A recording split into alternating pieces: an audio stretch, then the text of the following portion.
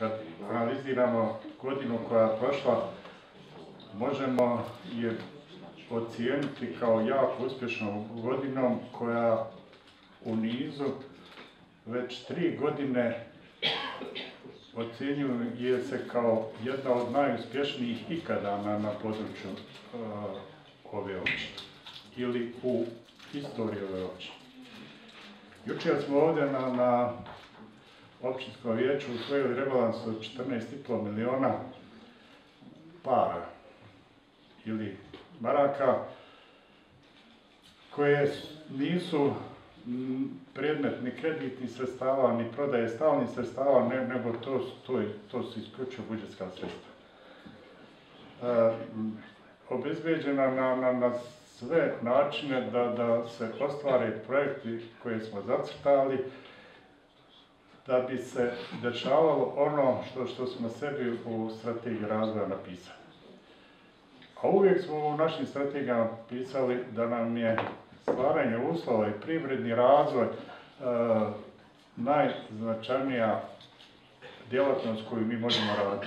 Iako nam nije ustavna i zakonski nadležnost, ali nam e, zbog situacije koje se nalazi cijela zemlja, to predstavlja prioritet broj nula. Znači, ne, ne, nema kategoriju, ni s jednim od drugih problema se ne komparira. Tako da, godina koja je prošla rezultirala je uređenjem prostora za razvoj nove industrijske zone, donošenje regulacijalnog plana, paralelno sa tim i isto tako otvaranje jedne nove djelatnosti u sferi privrede koja se zove turizam. Do sad nama poprilično nepoznata djelatnost počela se dešavati, razvijati na našem području.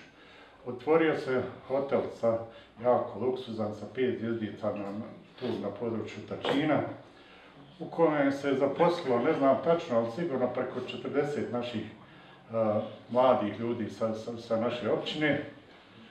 Uh, mi smo izdali odobrenja za rekonstrukciju, sanaciju i dogradnju još i drugog hotela na, na području Velikog polja na Igmanu, hotela Feri, ko, koji će povećati kapacitete, koji, koji će povećati a, a, svoj kategorizaciju, tako da će i on najvjerojatnije imati četiri ili pet jezdica, četiri minimalno, sa pratećim sadržajima ko, koje ćemo mi ovdje na, na vijeću definisati i na Igmanu imati nešto što ga polako uređuje kao jedan regionalni turistički centar. Sa donošenjem novog, novog regulacijnog plana isto tako moguće na Igmanu urediti uh, i ostatak prostora zajedno sa, sa naše dvije susjedne općine, sa Iliđom i sa Trnovom, da to bude jedna, jedna potpuno uh, lijepa, uređena destinacija koja bi mogla postati i svjetski centar. Sve od toga zavisi što mi budemo želeli.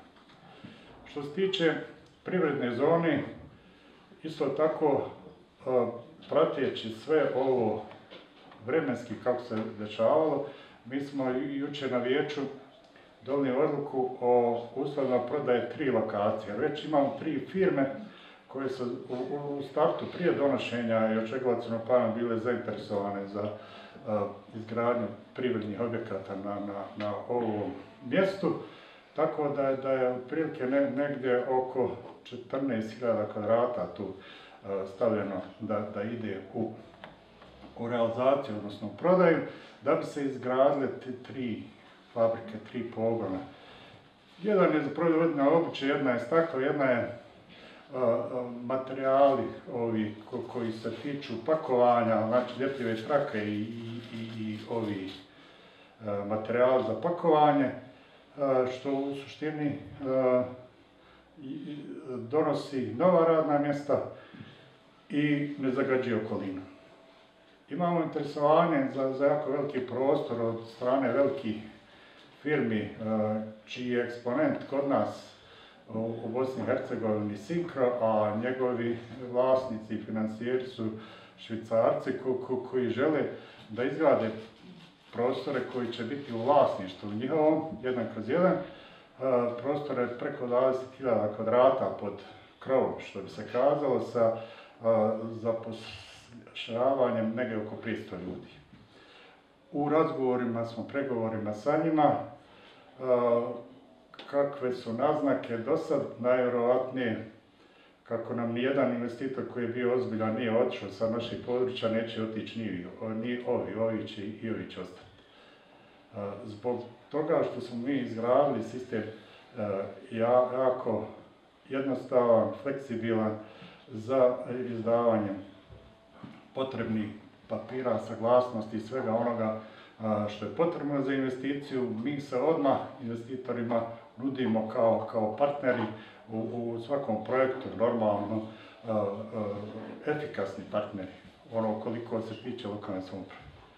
Tako da se nadam da nijevi neće otići i da ono ostatka prostora što bude bilo da će isto tako jako brzo na, na, naći zainteresovane investitore da, da se uloži u taj prostor i da evo već sada vidimo iz ovih naznaka da o, ovo četvoro otprilike nudi oko 600 e, radnih mjesta, od kojih neka bude 200 nekih koji dolaze, ako će prijeći neki naši ljudi iz, e, iz Hrasnice tu, ako to bude Sinkra ili, ne znam ja, ovaj, e, od neke drugo, neka bude 400, opet smo mi zadovoljni predstavljeni. Ono što je vezano za dalji razvoj, a ticalo se i, i naših nekih jučerašnjih tačaka dnevnog reda, vezani za, za šumsko privredno osnovno i šumarstvo, ovaj put smo toliko odlučni da dok usurimo ovaj problem koji se tiče šuma, šumskog zemljišta, prostora za, za razvoj općine i tako dalje.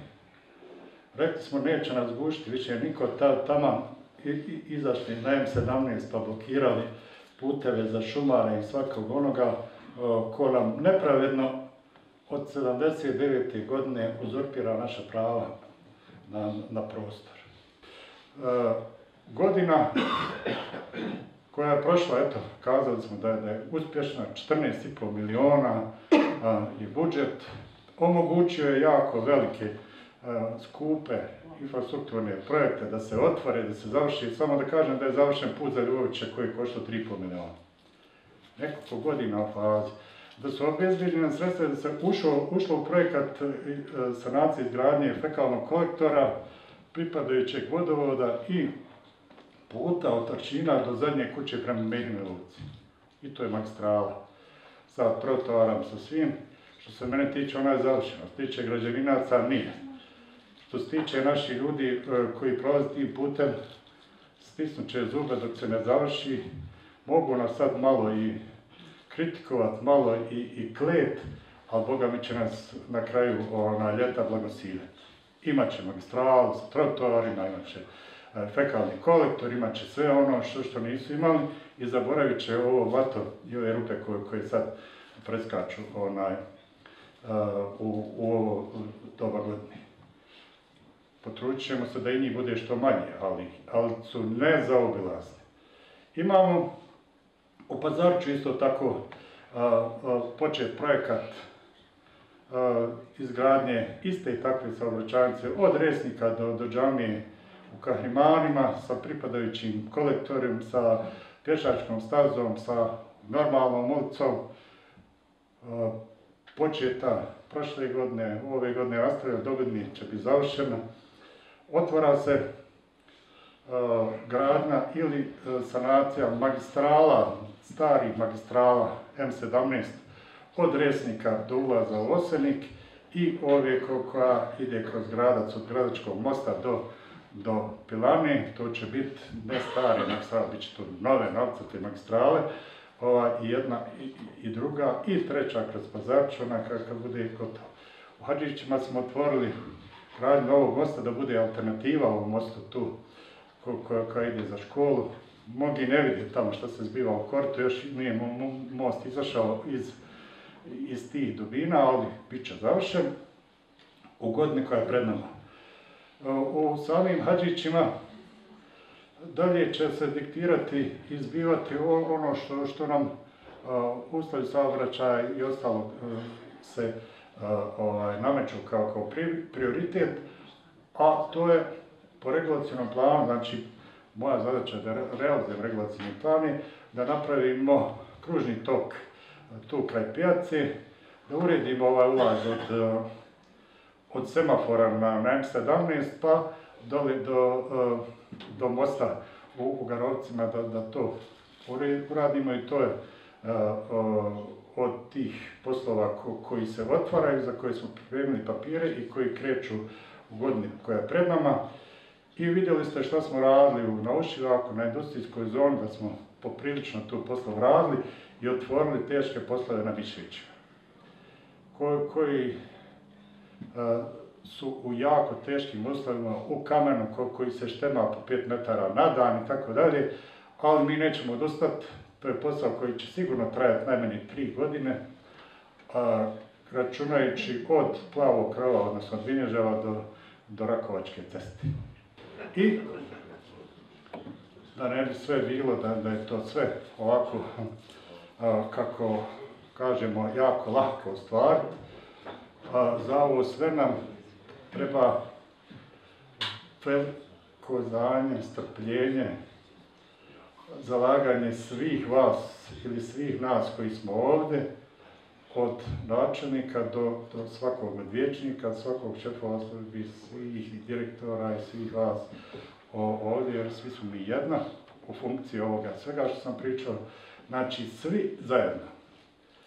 A, o, ono što sam ja imao pa, pa na Facebooku, onda, a to ću ovima koji dođu posle vas ponoviti, onaj, pošto će svi uposlenici biti ovdje, ne, negdje tamo iza pola tri, kazat sve vam mogu oprostiti i da ne radite, i da spavate, i da glumite da ste bolesni, pa donesete oni doznake da, kobajagi da ste bolesni. Samo vam ne mogu oprostiti da radite protiv. Da radite protiv ovih dobrih stvari. Protiv napretka u To nikome se ne oprašta.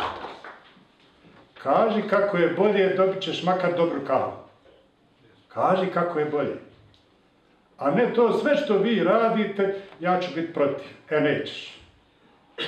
Ti koji si protiv, a ne znaš kako je bolje, bit ćeš uklonjen sa ovog našeg puta, a mi ćemo njega s Božjom pomoći gurati ovako kako smo počeli, na zadovoljstvo naših ljudi i na uspjeh. Prije nas su samo centar, Novo Sarajevo i Teša. Ako je to Nismo mi naručili taj, taj članak u oslobođenju u junu mjesecu koji je pokazao koje su najopćine federacije. Onda nemojmo se ni mi stidi, kažimo, jesmo, lijepi smo, da Bog da da ima ko ljepši od nas, a ako bude na kraju, onda da Bog da da ima ko uspješniji od nas, bit će nam dobro. Hvala lijepo i svakom dobro.